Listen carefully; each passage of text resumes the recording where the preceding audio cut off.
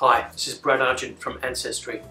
Today I want to talk about how you use DNA to do family history. All family history begins with a question, right? And that question could be, who am I, where have I come from, who were my grandparents, who were my great-grandparents? It's all about answering questions. Or, if you like, it's about solving mysteries. And so DNA can be really helpful for solving those mysteries in two ways. So either it can solve a question you've always been asking, or potentially you could be the answer to somebody else's question. So Miriam, you've used Ancestry and you've used Ancestry DNA. You are actually able to answer somebody else's question, weren't you? Yeah, that's right. We were able, went through the DNA test to confirm that two very distant branches of the family were connected. So how did that play out?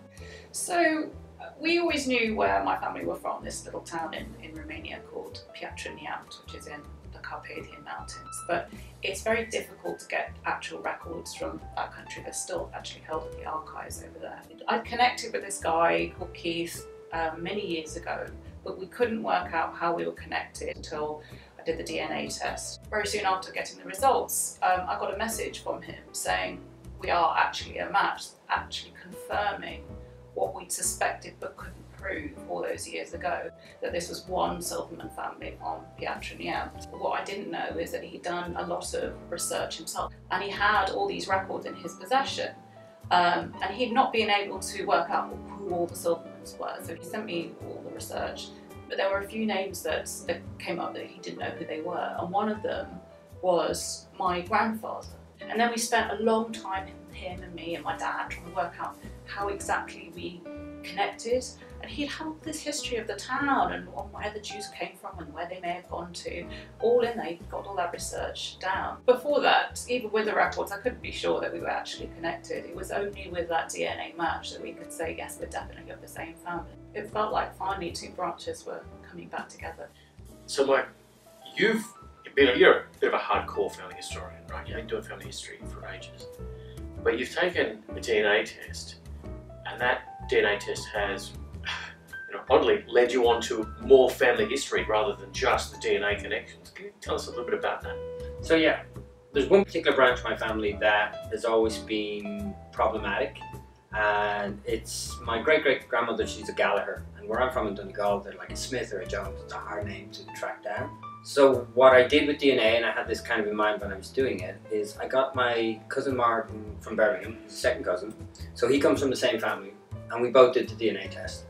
And we figured if they, if somebody matches Martin, somebody matches me, then they're probably a cousin on that particular branch of the family. So we did the test, and the results came back quite good. We had about at the time 10 common cousins. So we sent off messages to all of them, and we had a couple of replies back. And one of them in particular was kind of interesting because I had actually seen on the paper trail the same same username, and I'd, I'd just been planning on contacting them. And they had information. In fact, they had this particular letter, which was the family history of that branch, which was passed down. This particular letter was written in 1960, and it's been in a drawer sitting in California for 20, 30 years.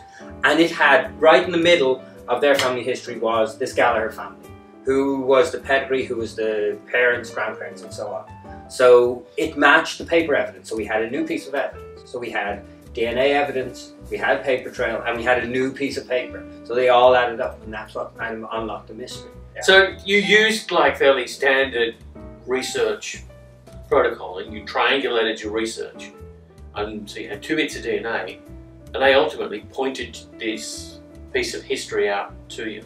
Yeah, and, and that's what you're really looking for. You're looking for separate pieces of evidence that all tell the same story. So we had DNA evidence, we also had tree evidence, and we had this letter, and we had some paper evidence from some of the records at the time.